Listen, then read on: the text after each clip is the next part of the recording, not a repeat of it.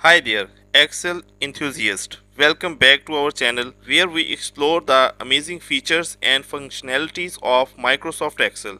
Today we have an exciting topic to discuss creating drop-down list in Excel. Drop-down lists are fantastic way to streamline data entry, maintain consistency and improve overall data accuracy. The method we will be using is data validation. Let's start learning it. Don't forget to subscribe KnowHow and press the bell icon for more videos. So this is the worksheet that I am going to use for teaching you drop down list and data filter in Microsoft Excel. This is actually the list of the employees, their designation, their year of appointment, placement city and their last degree obtained. For, for the first option that is designation, I am creating this drop down list. So first of all I have to go to the data and then click the data validation. When I click the data validation, this message appears and from the setting I have to select the list and I, when I select the list I have to give different options to this. For example, for designation, the first option is lecturer, second is assistant professor, then associate professor and the professors and each option is separated with the help of comma and then I have to press this OK. A drop down icon appears with this cell. When I click this cell, I can select from different options. So this drop down menu is only created for this cell.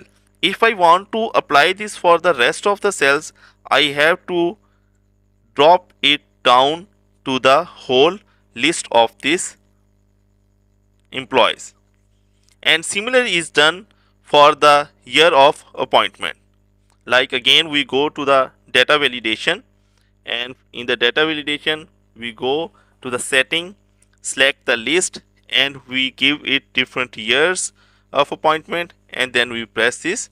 Ok so this is the way we can give different options for each variables and create the drop down list for example, I am filling the data for the first employee. The designation is assistant professor.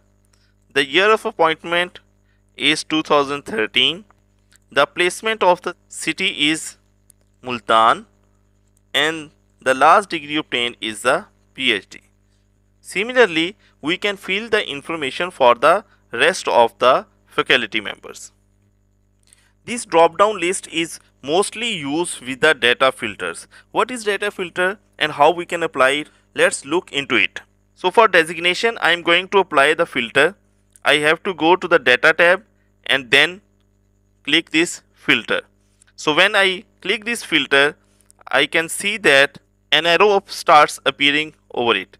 So if I want to only see the list of a specific type of employees, so I can select from it. For example, I want only see the assistant professors list. So I will unclick the rest of the options and only click the assistant professor and then click this OK. So now you can see that the information about only assistant professors is appearing over here.